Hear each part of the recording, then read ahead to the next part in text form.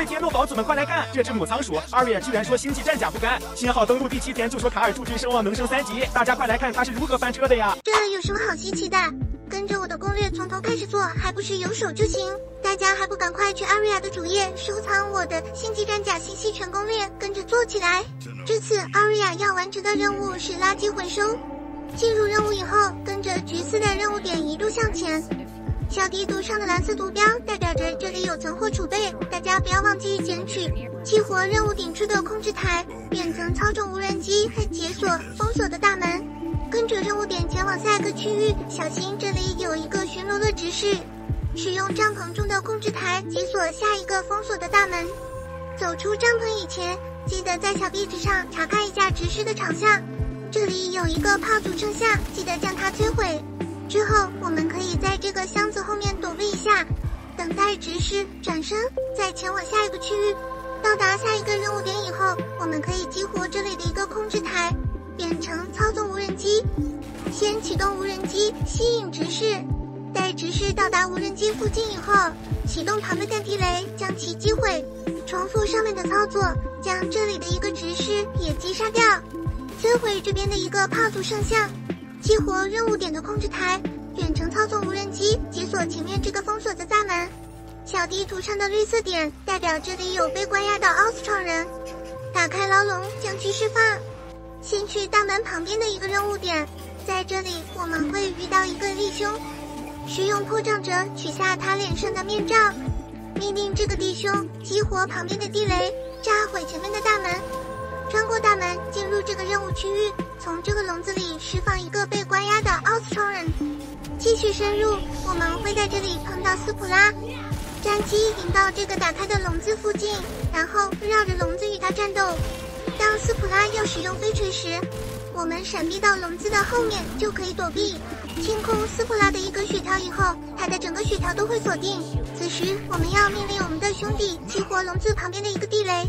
之后，斯普拉会跳起重击我们，我们要引诱他将其落点放置在地雷上，然后逃出攻击范围。之后击毁两个保护斯普拉的无人机，此时我们又可以对他造成伤害了。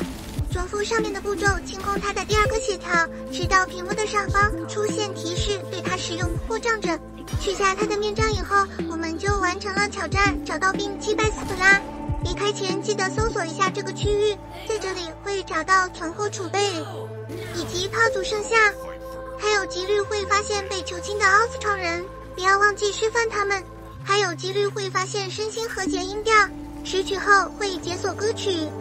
搜索完整个区域后，我们就可以离开这里，前往下一个任务点。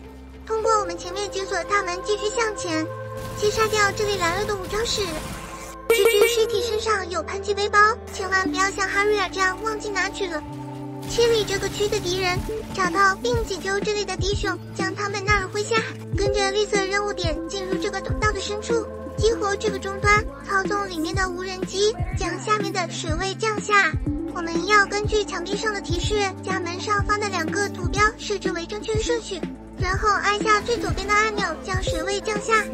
在水位下降以后，去下面损坏的终极者身上获取他的零件，之后我们就可以跟着橘子的任务点前往下一个任务地区了。到达这里以后，我们会遭遇到很多的敌人，但是我们现在帐篷的弟兄也有很多，很轻松的就将他们全部消灭了。在这里，我们也会碰到戴着面罩的兄弟，记得使用破障者解救并招募他们。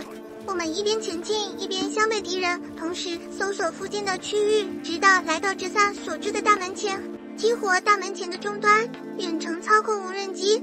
和下降守卫一样，我们需要将门上的两个图标设置为正确的顺序，才能解开它。进入大门以后，跟着黄色任务点，我们找到赤毒怒雷、绿蓝怒雷以后，消灭敌人就变成了一件非常轻松愉快的事情。继续向前，用怒雷射击任务点标记着的重击者，将它激活。前面就是我们和最终 BOSS 重击者决战的地方。如果你像阿瑞尔一样还没有拿取喷气背包，千万不要进入，返回去拿取喷气背包再来。没有喷气背包的话，最终的 BOSS 战将变得非常的困难。我们回到尸体旁边，从他身上获得喷气背包，然后回到刚才的地方，开始最终的 BOSS 战。我们使用喷气背包飞到这种有炮台的高台上，然后从这里居高临下的攻击重击者的四条腿，只有攻击到他的腿部才会消减他的血条。每打掉他四分之一的血条以后，他的血条会锁定。这时我们只需要使用旁边的炮台攻击一下他，就可以解锁他的血条。重复上面的操作，直到将他的血条全部清空。任务完成，绿色的车衣亭出现。此时周围的小怪应该都非常的集中，我们可以蹭完成五次击叉的挑战。